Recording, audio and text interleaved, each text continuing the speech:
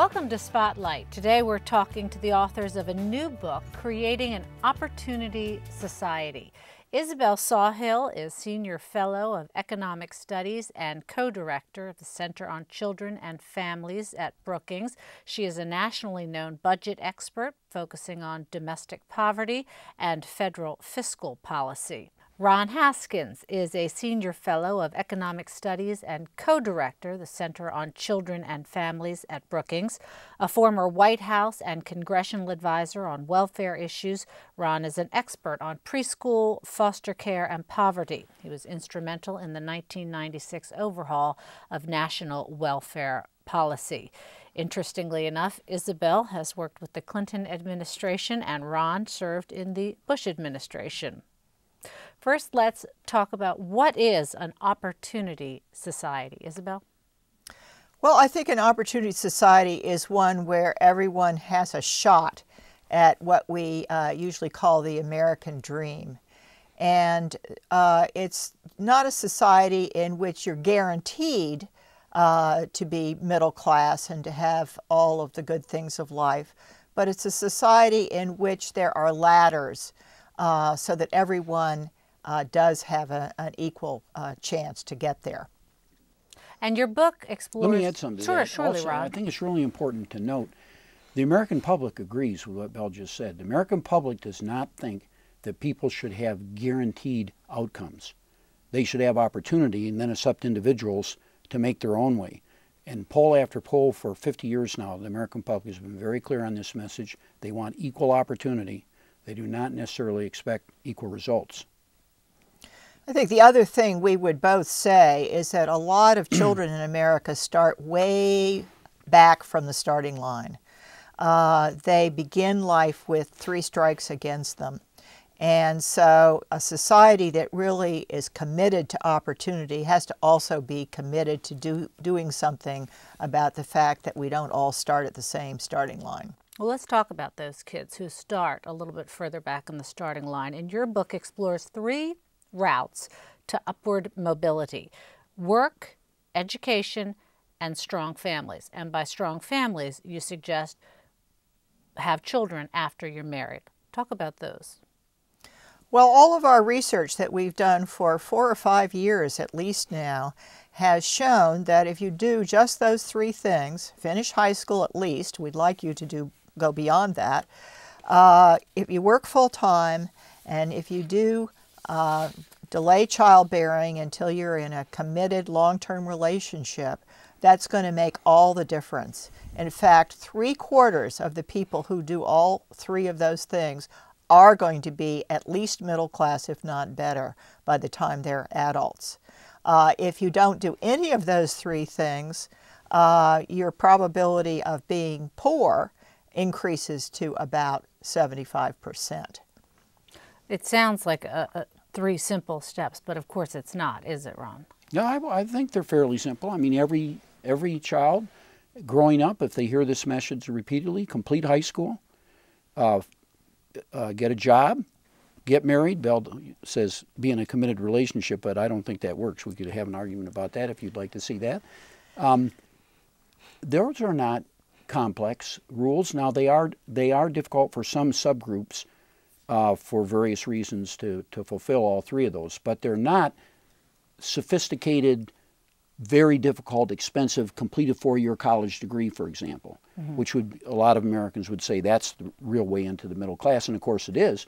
But a lot of people get to the middle class that, as you could tell by Belle's comment, uh, without completing a four-year degree. So I think these these are realistic goals that we, the teachers, the President of the United States, uh, ministers, community leaders, parents, could set for children and, and truly expect them to meet all three and feel disappointed if they don't. Uh, on mobility, you show that there is greater mobility in many European nations than in the U.S. Can you describe any findings and fill us in on what this says about our notions of the American dream? You know, most people think of the United States as the land of opportunity. And we have that sort of in our mindset as Americans.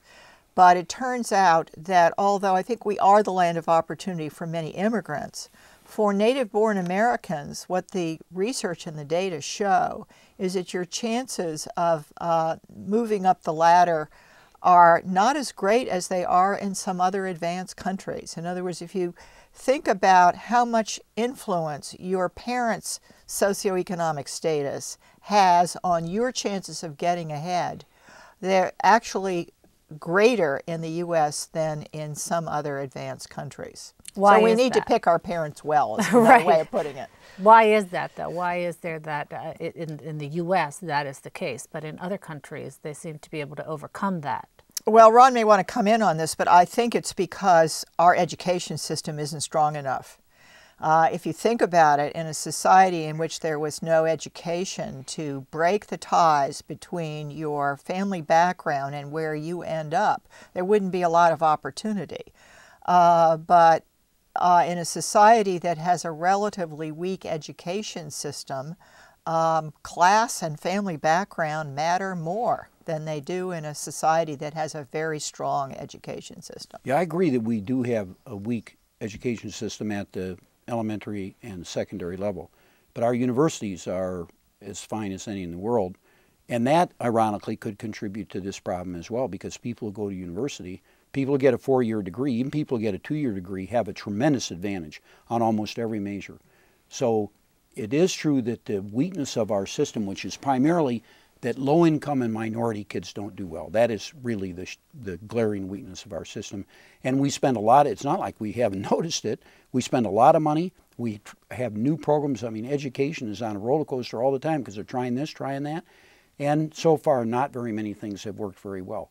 So until we solve that problem of achievement, and we're not talking about, again, very abstract things here, we're talking about learning to read and write and uh, what are called social emotional behaviors are important too, that people have to learn to behave, follow directions, that sort of thing.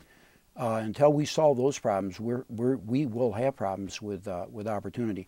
But I want to clarify, it's not like we don't have opportunity. There's a lot of opportunity in the United States. There's a lot of movement in the United States. We have less of it than other countries. Um, part of the reason could be also because we have such a huge disparity in incomes in the United States, more than any other country. The people at the top in our distribution are have really just outdistanced the rest of the distribution by an amazing amount, especially in the last decade or so. This could be changing now because the recession, often during recessions, people at top get hit. But then as soon as you get out of recession, they go like mad again. So we, we have, have a tremendous range of incomes in the United States, and that's probably another factor as well. Do you think the people in this country are aware of the disparity that we have in this country in wealth, and do you think they care? Yes, I think they, yes, on both counts. Uh, polls show that Americans do care. But one thing, uh, some people might call this limitation, Americans are different than other, than citizens in other countries. First of all, they're amazingly optimistic. In a poll done in January, right, you know, in the midst of this, the worst recession since the Great Depression, Americans and black Americans were the most optimistic that their kids are going to do better than they did and that they may be having trouble now, but they're going to be able to get themselves out of it. So Americans have an amazingly positive uh, outlook. Uh, so I think there's a, a lot of reason to be optimistic about the future. If we could help them more, especially when they're young in preschool, that's why we made these recommendations. In preschool, K 12, post secondary, also there are probably things we can do on family. There are definitely things we can do on teen pregnancy. Um, it would make a big difference, and there's plenty of evidence to show that it would.